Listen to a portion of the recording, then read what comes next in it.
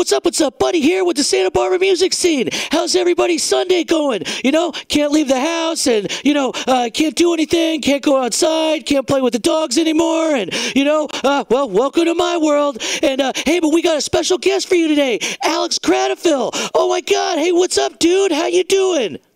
I'm good, buddy. How you doing? I'm okay. My mom came over yesterday and made us a bunch of food and brought us some TP, and now we don't have to do the you know the whole poop shower thing anymore. At least for like you know another roll. And uh, hey, but uh, uh, uh, this wiener that I know at the Crowded Coffin, he says like you're the coolest librarian around. You got your Dewey Decimal Card and everything. And hey, we were wondering, do you think maybe you would be down to read us a chapter out of a cool store, a, a cool book, you know, please?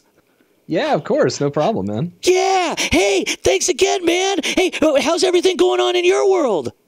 It's going good, dude. I mean, uh, just hanging out here in LA, trying to trying to not catch the virus. Yeah, know? don't catch it, or I mean, you don't want to catch it because it's you know it's trying to catch you, so you just got to keep running. Exactly. Yeah, man. Well, heck yeah. Well, uh, you know, I'll let you take it away. You guys are in for a treat. Uh, so this is uh, from the Hitchhiker's Guide to the Galaxy. I uh, figured it'd be good to read a nice chill book for uh, for the goings on in the world right now.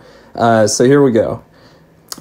Here's what the Encyclopedia Galactica has to say about alcohol. It says that alcohol is a colorless, volatile liquid formed by the fermentation of sugars and also notes its intoxicating effect on certain carbon based life forms.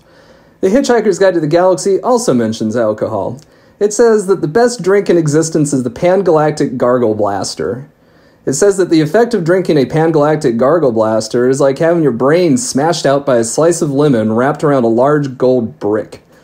The guide also tells you on which planets the best Pangalactic Gargle Blasters are mixed, how much you can expect to pay for one, and what voluntary organizations exist to help you rehabilitate afterwards.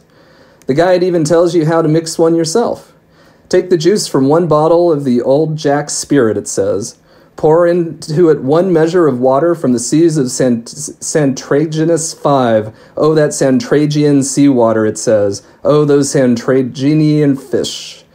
Allow three cubes of Arcturian megagin to melt into the mixture. It must be properly iced or the benzene is lost.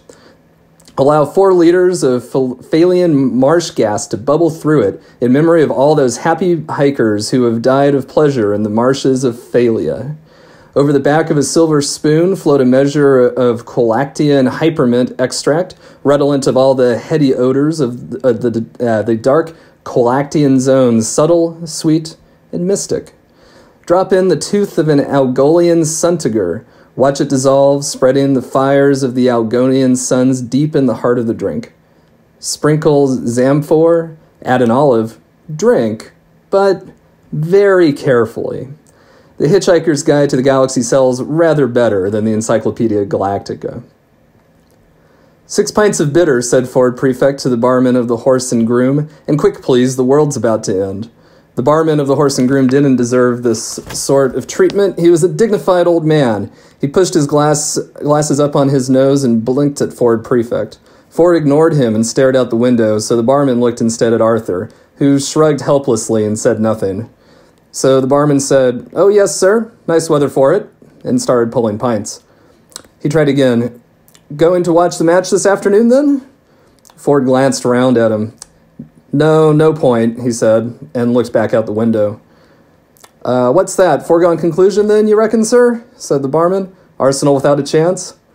No, no, said Ford. It's just that the world's about to end. Oh, yes, sir, so you said, said the barman, looking over his glasses this time at Arthur. Lucky escape for Arsenal if it did. Ford looked back at him, genuinely surprised. No, not really, he said, and frowned. The barman breathed in heavy. There you are, sir. Six pints, he said. Arthur smiled at him wanly and shrugged again. He turned and smiled wanly at the rest of the pub just in case any of them had heard what was going on. None of them had, and none of them could understand what he was smiling at them for. The man sitting next to Ford at the bar looked at the two men, looked at the six pints, did a swift burst of mental arithmetic, arrived at an answer he liked, and grinned a stupid, hopeful grin at them. Get off, said Ford, they're ours, giving him a look that would have made an Algo- Algolian Suntiger get on with what it was doing. Ford slapped a five pound note on the bar. He said, Keep the change. What, from a fiver? Thank you, sir. You've got ten minutes left to spend it. The barman decided simply to walk away for a bit. Uh, Ford, said Arthur, would you please tell me what the hell is going on? Drink up, said Ford. You've got three pints to get through. Three pints, said Arthur. At lunchtime. The man next to Ford grinned and nodded happily. Ford ignored him. He said, Time is an illusion. Lunchtime doubly so. Very deep, said Arthur. You should send that into the Reader's Digest. They've got a page for people like you. Drink up. Why three pints all of a sudden? Muscle relaxant. You'll need it. Muscle relaxant? Muscle relaxant. Arthur stared into his beer. Did I do something wrong today, he said, or has the world always been like this and I've been too wrapped up in myself to notice?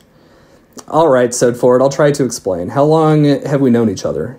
How long? said Arthur. Er, five years, maybe six, he said. Most of it seemed to make some kind of sense at the time. All right, said Ford. How would you react if I said that I'm not from Guildford after all, but from a small planet somewhere in the vicinity of Betelgeuse? Arthur shrugged in a so so sort of way. I don't know, he said, taking a pull of beer. Why do you think it's the sort of thing you're likely to say? Uh, Ford gave up. It really wasn't worth bothering at the moment. What with the world being about to end? He just said, drink up. He said, perfectly factually, the world's about to end. Arthur gave the rest of the pub another wan smile. The rest of the pub frowned at him. A man waved at him to stop smiling at them and mind his own business. This must be Thursday, said Arthur to himself, sinking low over his beer. Never could get the hang of Thursdays. Whoa, whoa, that was rad, man. That's that was so cool. Like everybody's been trying to get me to read that book forever, and I just keep saying, yeah, I read it, just to stop asking me. But I never read it because I'm an idiot. But I'm totally gonna read it now. Hey, that that was so sweet. Hey, do you got any other books you wanna, you know, uh, let us know about so we can read those too? Well, yeah. So you know, I just uh, finished reading the uh, Welcome to Night Vale novel. It's just called Welcome to Night Vale. It's super fun, a little creepy, you know, a little funny, a little bit of uh, lots of things. So I highly recommend checking that out too.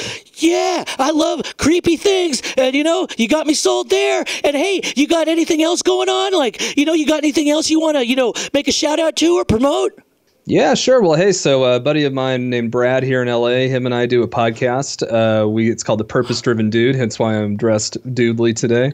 Um, it's a cool podcast, man. It's about dudism, which is uh, probably the slowest growing religion in the world. It's based on the Coen Brothers film The Big Lebowski, so you know it's a religion for our day and age. You know, man, something to help take the edge off, help help you maybe take her easy through uh, these trying times. You know. Heck yeah, man! That sounds super cool. Like I'm down. I want to join. Like you know, I know how to abide and all that stuff. You know, and so hey, uh, you know, everybody go check out that podcast, and we're gonna definitely put the links down there. You know, so you can go. You know, you can get to it real quick. And Alex, hey, will you come and read another story for us sometime, please, please, please? Anytime, buddy. Just let me know, and I'll uh, I'll do another reading. It'll be good time. Heck yeah! Oh man, that was so rad. Hey, well, hey, everybody, keep tuning. You know, keep tuning back into the channel because we got a lot more stuff on the way. Hey, thanks again, Alex. See ya.